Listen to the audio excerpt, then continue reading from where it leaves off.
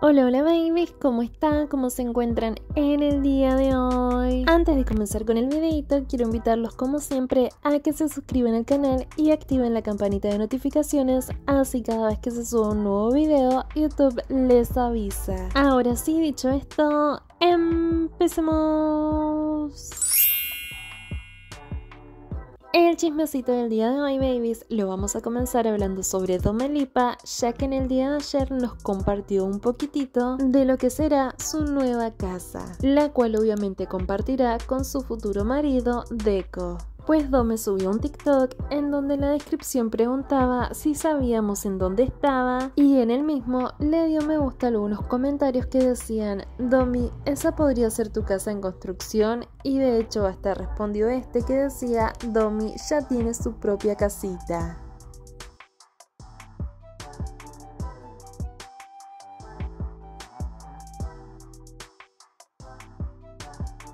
Pasando a otro tema, otro de los TikToks que subió Dom en el día de ayer, muchas personas lo tomaron como una indirecta hacia Rod Contreras. Y es que Dome subió un video en donde se mostraba haciendo lip sync de una canción en la cual mencionaban a un ex.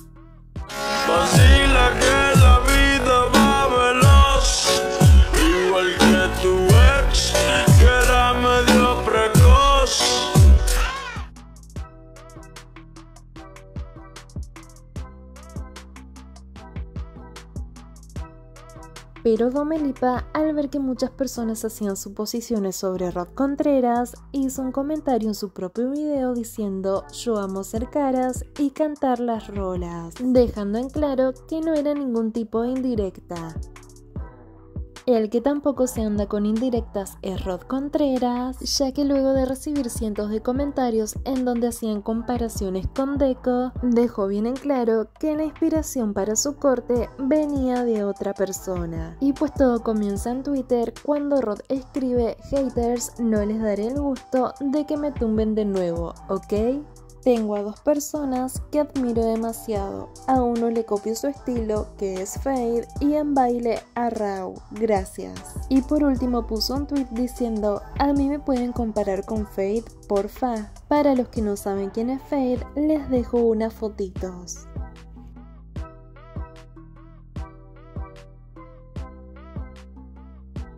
Y luego de estos tweets, Rod subió un TikTok en donde nuevamente dejaba ver su pelo planchado y dejó anclado un comentario que decía, desde cuando los cortes de cabello son únicos de personas X. Y sin dudas, lo que más polémica terminó causando fue cuando Rod Contreras hizo un en vivo y alguien dejó un comentario diciéndole que se creía mejor que Deco, a lo que Rod respondió que no se creía mejor, sino que más bien era mejor.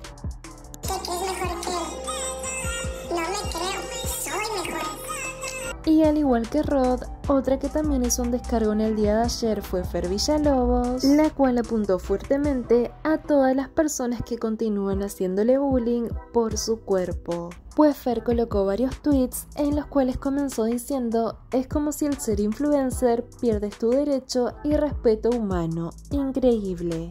Ni a mi peor enemigo le deseo el acoso masivo, burla que recibo hacia mi físico. Nadie en el mundo se lo merece. Fer continuó diciendo, fue difícil, pero logré ser independiente a los 17 años. No dependo de nadie para vivir y se siente bien.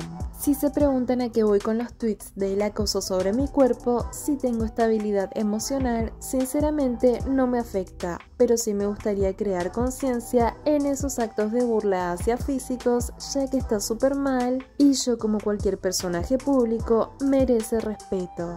Imagínense si yo no fuera una mujer segura de sí misma viendo todo ese tipo de acoso y burla, ya estaría en un ataúd o con miles de trastornos alimenticios, inseguridad, etc. Admiro tanto a otras influencers como Don, Mont, Kim y así que a diario gente pendeja se burla de su físico, pero allí están, dándolo todo, viéndose como tremendas diosas. Real es admirable ver cómo son tan fuertes. Y por último, Fer cerró todos estos tweets diciendo, es como si el ser personaje público pierdes el respeto como persona, súper mal. Y no sé si recuerdan babies, pero en el video de ayer habíamos hablado sobre el tren nuevo que se estaba creando en donde las personas se burlaban del físico de Fer, como esta chica que subió un video diciendo cuando TikTok le saca un filtro a Ian Fer. A lo que Carolina Díaz le comentó el video diciendo estaba viendo tu TikTok y decían todas muy feministas hasta que se trata de ¿qué pasó aquí? No es gracioso. Y así como el comentario de Caro, había muchos más en repudio de este contenido, el cual obviamente se trata de bullying que quieren disfrazar como humor.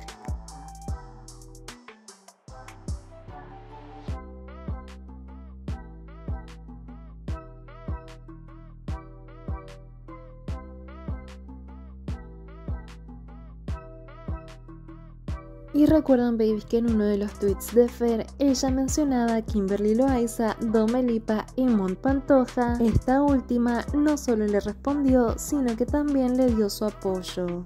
Ya que Mont citó el tweet de Fer y le dijo, Preciosa, te mando un abrazo y fuerzas porque créeme que todas sufrimos por lo mismo, pero no hay nada como ser fuerte y tratar de ignorar malos comentarios. Eres muy linda.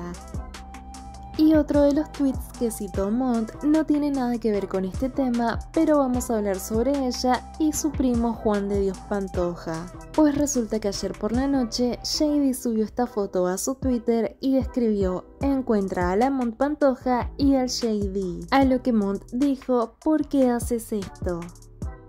Claramente la foto tiene sus años porque a todos se los ve pequeños, pero sin dudas Mont y Juan son bien fáciles de reconocer. Díganme en los comentarios babies si pudieron encontrar a JD. Continuando con Juan de Dios Davis, recuerdan que en el chismecito de ayer habíamos mencionado que Kaeli asistió al piquetón a siendo que la relación entre ella y Juan de Dios no era muy buena, pues resulta que Kaeli no había sido invitada al evento, sino más bien se había colado. Y esto lo supimos luego de que Juan de Dios escribiera un tweet diciendo, amigos, nosotros no nos encargamos de los invitados de ayer, la fiesta la organizó el equipo de Lele, nosotros solo invitamos a nuestro círculo. Y en un segundo tweet dijo, me dan mucha lástima. Y es que varias fuentes confirman que Kylie tampoco habría sido invitada por el equipo de Lele. Y que si terminó allí fue gracias a Ricky Arenal. Díganme en los comentarios qué opinan ustedes, babies.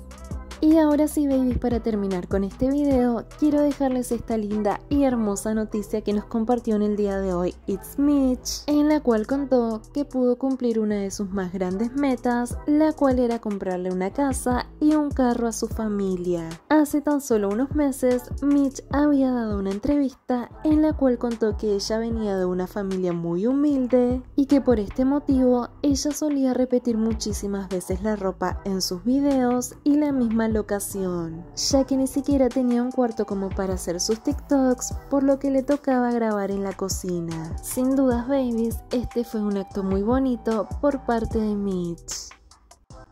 Oigan, tengo que contarles algo y es que... Ay, es que le regalé un carrito a mi mamá. Estoy muy emocionada y me dan ganas de llorar. Porque es algo que no creí y es que nunca creí, o sea, nunca creí poder regalarle un carro a mi familia. La verdad estoy muy emocionada, muy feliz y esto es gracias a ustedes. Gracias por su apoyo desde el principio. Y pues nada, les dejé unas fotitos del carrito que le di a mi mamá en Instagram para que le vayan a dar mucho amor. Muchísimas gracias de todo corazón. Les mando un abrazote enorme.